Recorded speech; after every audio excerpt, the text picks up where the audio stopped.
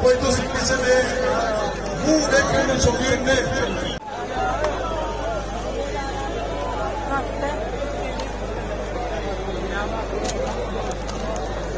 Yeah.